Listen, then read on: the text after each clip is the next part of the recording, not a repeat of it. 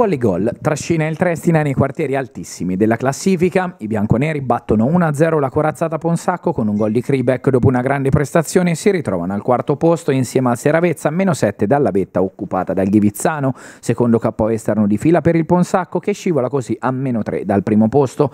Già nel primo tempo meglio il Trestina, privo di Ridolfi e Go, schierato da Cirbella con un 4-3-1-2 con Chiararo in porta, Marconi, Fumanti, Tersini e Catacchini in difesa, Vinagli, Petrice e Gramaccia in mediana, Costagliano alle spalle di Gallozzi e Kribek. Proprio il capitano Vinaglia è il primo a provarci dalla distanza sfiorando l'incrocio. Quando poi Kribek si invola in fascia, Stagliano arriva con qualche istante di ritardo all'appuntamento con la deviazione vincente. Sulla panchina del Ponsacco arriva la notizia del vantaggio del Ghivizzano e della San Giovannese. I rossoblù però senza Caciagli, messi in campo da Maneschi con un 3-4-1-2 con Bulgarelli in porta, Gremigni, Colombini e Mazzanti nel reparto arretrato, Tazzer, Menichetti, Castorani e Lici a centrocampo con Remorini dietro Doveri e Brega, si vedono solo al 35 25 con questa punizione di Menichetti. Occhio dall'altra parte allora, ma stavolta è Gramaccia a mancare il timbro sull'imbeccata di Gallozzi. Nel finale di tempo poi il Trestina protesta per una gomitata di Gremigna a Kribek, sulla quale sia l'assistente Fele che l'arbitro Di Marco sorvolano. Si va all'intervallo sullo 0-0 e nella ripresa Di Marco nega subito un rigore al Trestina per questo intervento di Gremigni su Kribek. Il fischietto di Ciampino si rende conto subito dell'errore, tanto che dopo un minuto si limita al giallo per questo fallo di Vinagli su Lici. Quello che combina Di Marco in tandem con l'assistente Fele ha del clamoroso al minuto 66, quando Gremigni perde palla, Gallozzi supera Mazzanti che lo mette giù, poi anche il portiere Bulgarelli commette fallo, ma per Di Marco e solo per lui è tutto regolare. La partita la fa il Trestina, ma il Ponsacco mette paura al settantesimo quando Lici, il migliore dei suoi, costringe Cucchiararo alla deviazione in angolo. Il Trestina però continua a premere e al settantanovesimo trova il gol quando Kribek corona una prestazione superlativa con l'azione personale che vale l'1-0. Applausi a scena aperta e Cirbella inserisce subito Polidori per Vinaglia ammonito avanzando Catacchini in mediana. Maneschi inserisce Zorizza per Remorini e Mariani per Mazzanti passando al 4-2-3-1 e al novantesimo proprio i neoentrati sfiorano il pari. Mariani colpisce la traversa Cucchiararo è miracoloso sulla successiva ribattuta di Zorizza e la paratona che blinda l'1-0 e ora fa sognare il Trestina ad occhi aperti. Senza Ridolfi e Go arriva la vittoria contro una delle squadre più forti del campionato. Il Ghivizzano è lì a più 7. Sì, senza Ridolfi e Go, ma con, eh, con Kribek e Gallozzi, con eh, Petricci, con eh, il capitano, con Silvio.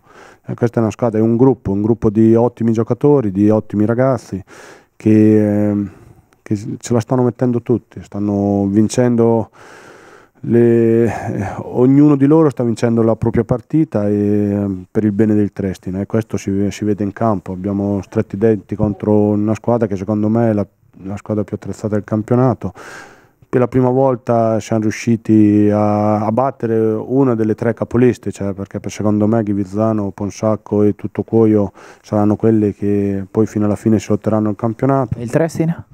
Il Trestina deve continuare ad avere questa fame, questa attenzione che ha, ha avuto fino, fino, adesso, però i meriti in modo particolare sicuramente sono di tutto il gruppo. Ehm, è un momento positivo, va fate comunque, ecco, eh, credo i complimenti anche alla squadra avversaria perché è venuta qui ha provato fino all'ultimo a, a, vincere questa partita, oggi ha trovato di fronte ecco, una squadra che ci ha creduto quanto loro e soprattutto ha lottato quanto loro in campo e sono contento. Con un Kribek così Ridolfi può recuperare tranquillamente. No, no, guarda, dico la verità, Mattia è indispensabile per noi, però questa vittoria la dedichiamo anche a lui e a Cadere che sono fuori e volevo dire una cosa, che soprattutto da queste vittorie si nota che la forza nostra è un gruppo, abbiamo un gran gruppo e sono molto contento di questa vittoria e ora, e ora ci si diverte. Dove può arrivare questo Trestina dopo una vittoria contro una corazzata come il Ponsacco? Ma guarda, io non, non faccio proclami o altro, dico che bisogna pensare partita dopo partita e continuare come stiamo facendo.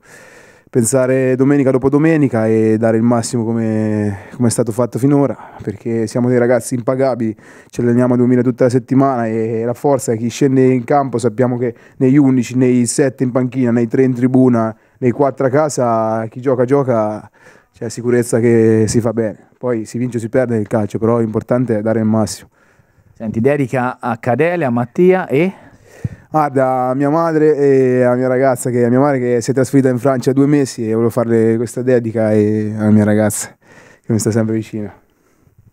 Presidente Donati, è il secondo KO di fila in trasferta, la vetta ora è a tre punti, ma la società è sempre vigile e attenta sul mercato.